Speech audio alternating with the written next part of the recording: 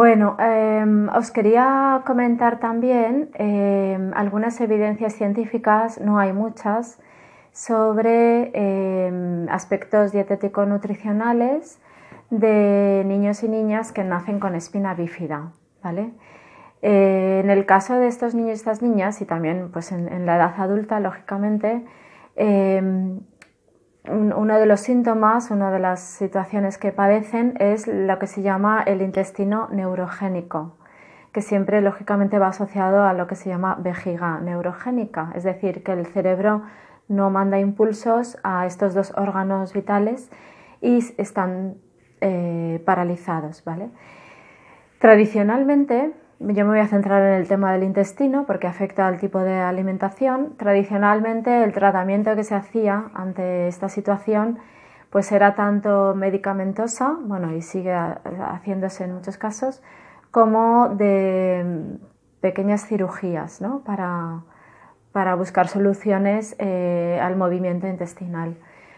Eh, actualmente, eh, también con las nuevas profesiones sanitarias que han ido surgiendo y los nuevos estudios científicos, se ha visto que hay dos técnicas que son bastante beneficiosas para eh, tratar el, intestino neurogénico, que son eh, los masajes abdominales, que esto pues lo lógico sería hablar con un fisioterapeuta experto en esta materia, y por otro lado también, que también se puede trabajar con el fisioterapeuta, esta otra técnica, em, las irrigaciones transanales o anales o como cada uno las denomine, ¿no? que vendría a ser pues como una introducción de, suero fisiológico, de agua, que eh, desde el ano eh, estimulando la, la, salida de las heces. ¿no? Bueno, si os fijáis son terapias o son tratamientos mucho menos invasivos que la medicación o que la cirugía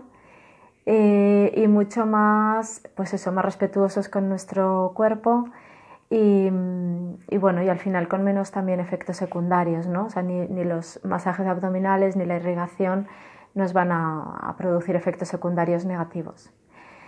Aparte de eso, la alimentación de estas personas, eh, claro, el efecto que tenemos es de un estreñimiento muy fuerte junto a eh, una incontinencia, ¿vale? Entonces eh, pasamos de, no ser capaces de expulsar a no controlar la expulsión y, expulsar, eh, bueno.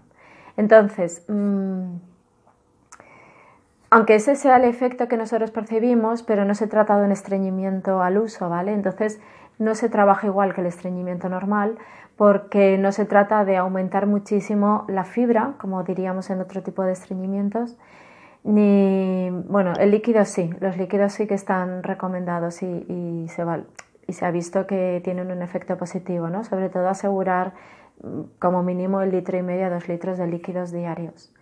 Esto es muy importante.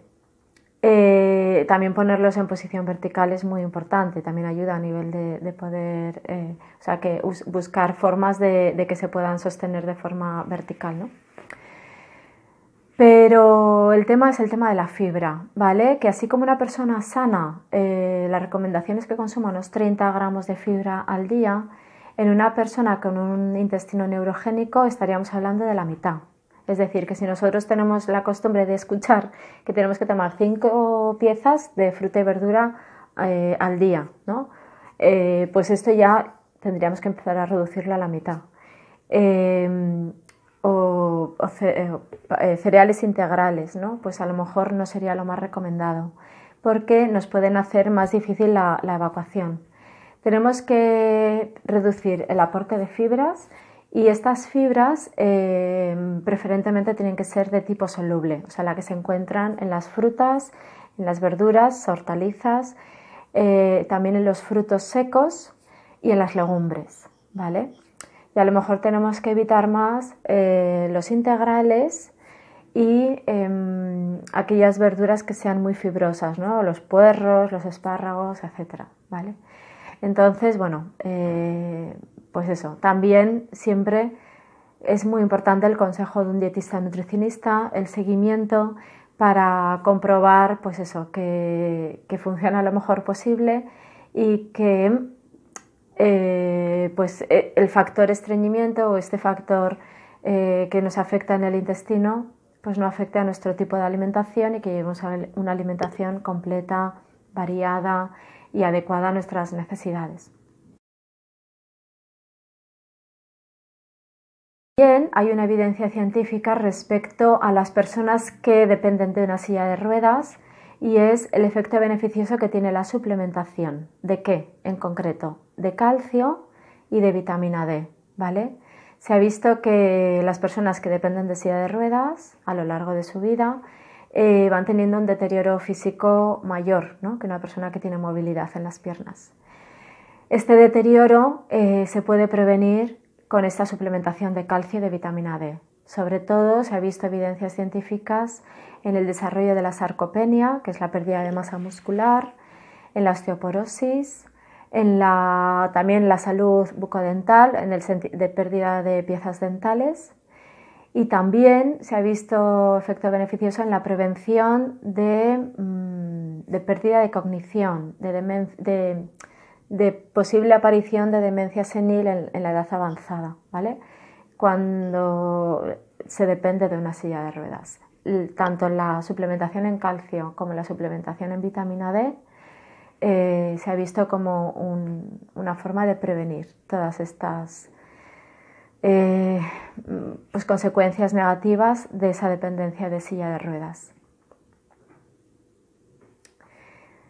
Y por último, eh, otra evidencia científica que existe en relación a las personas que están en silla de ruedas y que pasan mucho tiempo encamadas y que finalmente pueden aparecer las lesiones por presión, eh, las úlceras por presión, estas personas em, también se ha visto mucha evidencia científica, mucho beneficio de suplementar con, em, con complementos dietéticos, o sea, con, como si fueran sustitutos de, de la dieta en forma de batidos que sean hipercalóricos e hiperproteicos.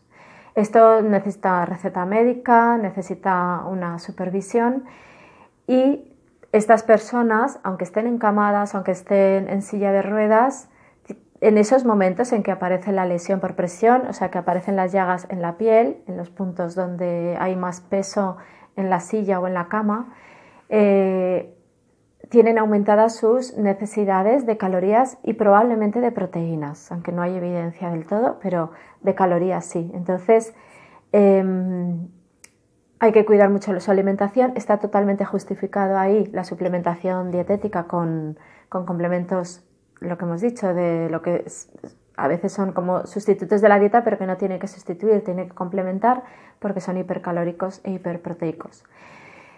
¿Durante cuánto tiempo? Pues por lo menos hasta que desaparezcan y cicatricen las llagas y las, lesiones y las úlceras. Una vez hayan cicatrizado, volveremos a una dieta más normocalórica y normoproteica. Pero también como puede ir asociada este, estado con una, situación de menos apetito, pues hay que incorporar los suplementos dietéticos cuanto antes.